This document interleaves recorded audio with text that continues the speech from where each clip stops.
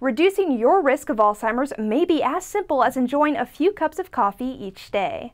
I'm Erin White with your latest health news. A new report found that compounds within coffee, including caffeine, may prevent Alzheimer's disease.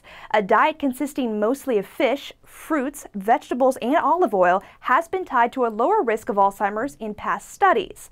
This may be because those foods contain chemicals called polyphenols, which are also found in coffee, the report authors wrote. Speak with a doctor about jump-starting a healthy lifestyle that may help your mental health.